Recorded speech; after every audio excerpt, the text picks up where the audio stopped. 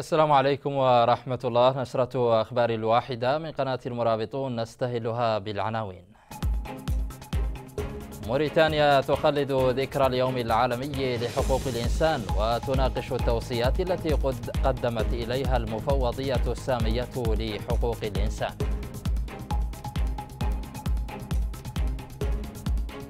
مجلس الوزراء الموريتاني يصادق على إنشاء ثلاث محاكم جنائية مختصة في جرائم العبودية والممارسات الاسترقاقية.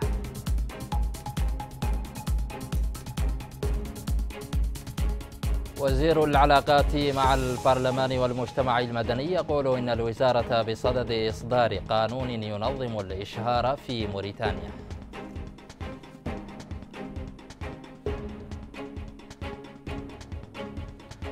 أهلا بكم إلى تفاصيل هذه النشرة. نظمت مفوضية حقوق الإنسان والعمل الإنساني بنواكشوط حفلا لتخليد ذكرى اليوم العالمي لحقوق الإنسان ونوقشت خلال الحفل التوصيات التي قدمتها المفوضية السامية لحقوق الإنسان إلى موريتانيا إضافة إلى عرض حول تعاطي موريتانيا مع هذه التوصيات من خلال تقرير المقدم بجنيف قبل أسابيع. المزيد من التفاصيل نتابعه في هذا التقرير. حفل لتخليد اليوم العالمي لحقوق الإنسان في العاصمة نواكشوط تشرف عليه مفوضية حقوق الإنسان والعمل الإنساني.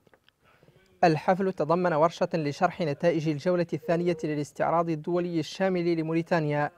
تم خلالها عرض التقرير الذي قدمه وفد موريتانيا برئاسة وزير العدل إلى المفوضية السامية لحقوق الإنسان في جنيف قبل أسابيع.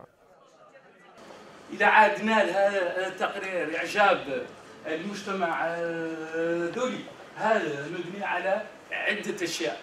والشيء الأول هو أنه تم إعداد هذا التقرير باش قال التشاور بين جميع الفاعلين في ميدان حقوق الإنسان. هو تقرير وطني. مفوض حقوق الإنسان والعمل الإنساني. قال إن الحكومة الموريتانية تجاوبت مع توصيات المفوضية السامية لحقوق الإنسان. وقبلت منها بشكل فوري 136 من أصل 200 توصية فيما تعكف على دراسة التوصيات المتبقية. وقد تعاطى الوفد الرسمي الذي قدم تقريرنا برئاسة معالي وزير العدل إيجابيا تعاطى أيضا إيجابيا مع التوصيات للجولة الثانية من الاستعراض الدوري الشامل. وبرهنت الحكومة على نيتها الصادقة في المضي قدما بتعزيز حقوق الإنسان من خلال قبولها الفوري ل 136 من أصل 200 توصية وهي عاكفة على تدارس التوصيات المتبقية. تقرير الاستعراض الدولي الشامل لموريتانيا الذي أعدته لجنة فنية وزارية في الفترة ما بين 2010 و2015 جاء بعد مساءلة موريتانيا من قبل المفوضية السامية لحقوق الإنسان حول واقع حقوق الإنسان في البلاد. وأتبعت المساءلة بتوصيات تجاوبت موريتانيا مع أغلبها فيما رفضت توصيات اعتبرتها لا تتلائم مع القيم الثقافية والدينية الموريتانية. من ناحية أخرى صادق مجلس الوزراء الموريتاني خلال اجتماعه يوم أمس على مشروع مرسوم يتعلق بإنشاء ثلاث محاكم جنائية مختصة في جرائم العبودية والممارسات الاسترقاقية. وقال وزير العدل إبراهيم الداداه إن هذه المحاكم ستسير طبقا لمجلة المرافعات الجنائية المعمول بها في موريتانيا وستتوفر على مستشارين ومحلفين طبقا لما تنص عليه المجلة الجنائية مضيفا أن القضاة المعنيين بتسيير المحاكم سيتم الإعلان عنهم في الأسابيع القادمة. وطبعا هذه المحاكم لا بد لها من تعود تسيرها. ترسانة قانونية وهذه المحاكم اللي هي مناسبة أنها محاكم جنائية لا يعود يسيرها قانون لا يعود تسيرها مجلة المرافعات الجنائية اللي معمول بها في البلد. إذا عنها هي محاكم جنائية لا تعود محاكم جماعية لا يعودوا فيها مستشارين مع القاضي اثنين ويعودوا فيها محلفين وهذا كامل خاضع التنظيم اللي وارد في المجلة المجلة الجنائية الموريتانية. وإذا هذا هو هو اللي اللي اللي اللي شاف المرسوم اللي صادق عليه مجلس الوزراء اليوم وجاء تتويج لذيك المادة 20 وإن شاء الله الأسابيع المقبلة آه، يدوروا يعينوا القضاة اللي معنيين بها. في إطار إن شاء الله المجلس الأعلى للقضاء اللي ما يدور إن شاء الله مع عقد جلسته في الأسابيع القادمة. نظمت في العاصمة نواكشوط ورشة تكوين حول مكافحة الاتجار غير غير المشروع عفوا بالممتلكات الثقافية بالتعاون بين المكتب الوطني للمتاحف ومكتب اليونسكو بالمغرب العربي. ويقول بعض المشاركين في هذه الورشة إن بعض القطع الأثرية بموريتانيا تتعرض منذ فترة طويلة للنهب والبيع رغم وجود قوانين تحرم ذلك. نتابع. مكافحة الاتجار غير المشروع بالممتلكات الثقافية موضوع ملتقى تكويني منظم من طرف المتحف الوطني ومكتب اليونسكو بالمغرب العربي.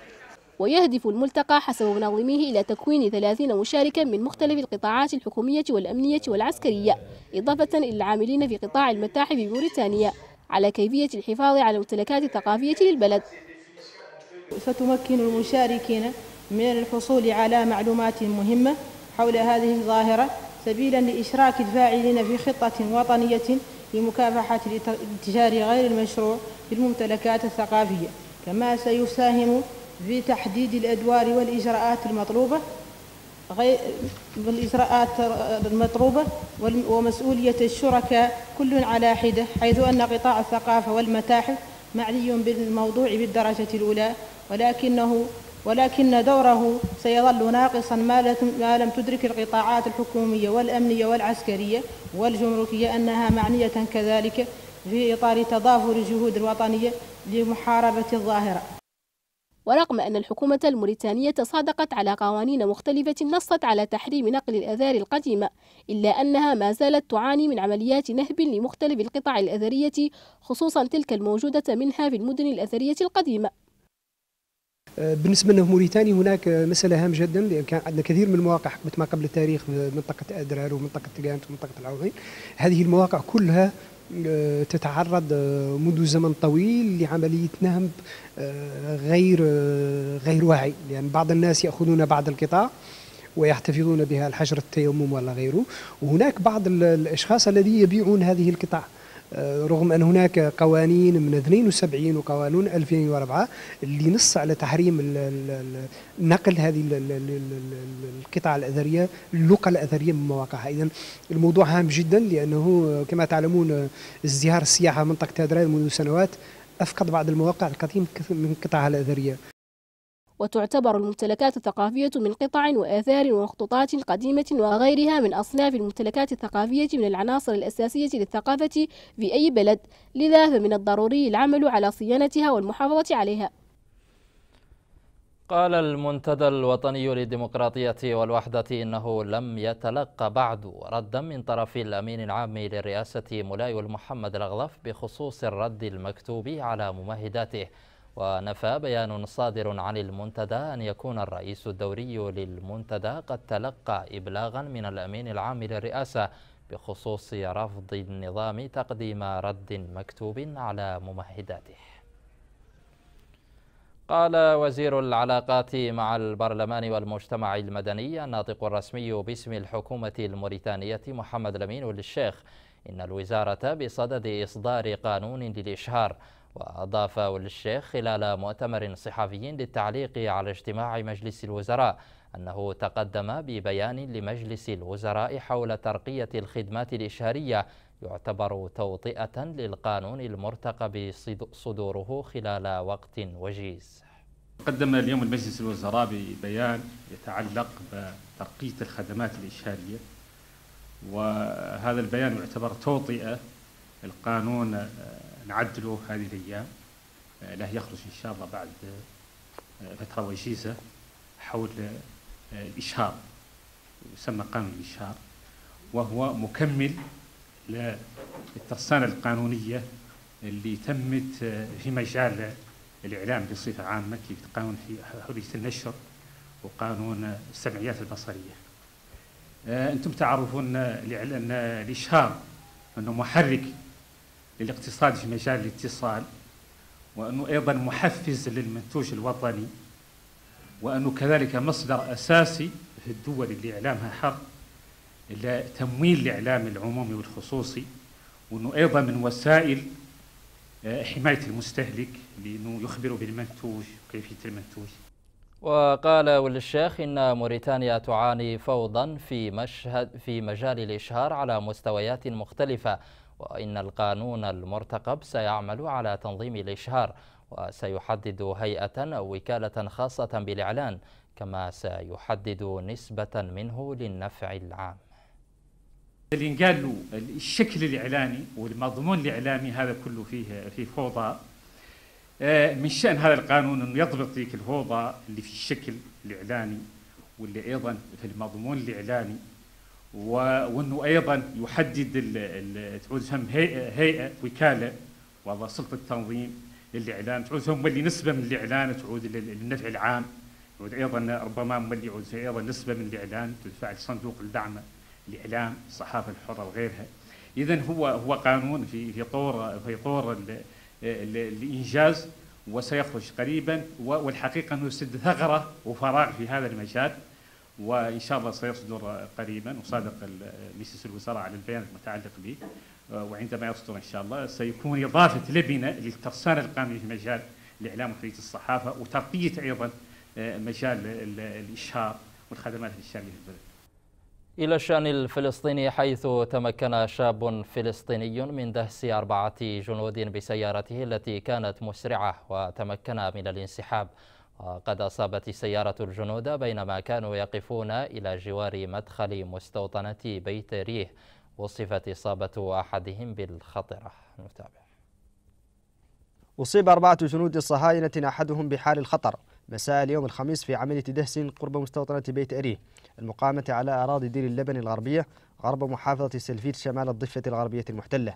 فيما تمكن المنفذ من الانسحاب وحسب القناة الصهيونية السابعة فإن سيارة مسرعة يقودها فلسطيني تمكن من الانسحاب دهست مجموعة من الجنود كانوا يقفون إلى جوار مدخل مستوطنة بيت أريه أصيب منه أربعة على الأقل جراح أحدهم وصفت بالخطيرة. وقالت مصادر طبية صهيونية إن الأربعة في العشرين من عمرهم وصلوا إلى المستشفى بعد أن أصيبوا في عملية دهس حالة أحد منهم حرجة للغاية فيما أصيب الآخران بجراح متوسطة والرابع بجراح خفيفة. وقتل 23 صهيونيا بعضهم جنود وأصيب ما يزيد عن 250 آخرين في سلسلة عمليات يومية ينفذها فلسطينيون ضد جنود الاحتلال والمستوطنين من اندلاع انتفاضة القدس في الأول من أكتوبر الماضي. ومستوطنة بيت أريه هي مستوطنة أقيمت في العام 1981 إثر مصادرتها من سكان قرية اللبن الغربية وتكتسي أهمية كبيرة ذلك أن معظم مستوطنيها يعملون خارج المستوطنة وخاصة في الصناعات الجوية الإسرائيلية. وهي أيضا تقع بالقرب من مطار اللد ذي الأهمية الأمنية الخاصة وقد سميت المستوطنة بيت أريه نسبة إلى أريه بن العزير أحد قادة منظمة الإيدس الإرهابية وأحد أبرز القيادات المؤسسة لحزب حركة الليكود. ويبلغ عدد سكان هذه المستوطنة 3400 مستوطن محارب ورئيس مجلس المستوطنة أفي نعيم وهو أيضا رئيس لجنة الأمن في حكومة الاحتلال. نهاية نشرة أخبار الواحدة من قناة المرابطون وقد تابعتم فيها. موريتانيا تخلد ذكرى اليوم العالمي لحقوق الإنسان وتناقش التوصيات التي قدمت إليها من طرف المفوضية السامية لحقوق الإنسان. مجلس الوزراء الموريتاني يصادق على إنشاء ثلاث محاكم جنائية مختصة في جرائم العبودية والممارسات الاسترقاقية.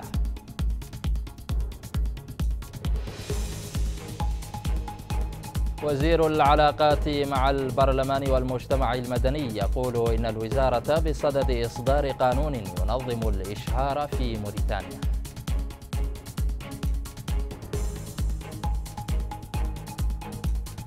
يمكنكم مشاهدينا الكرام متابعة هذه النشرة وغيرها من نشرات وبرامج القناة عبر صفحتنا على الفيسبوك الظاهرة على الشاشة.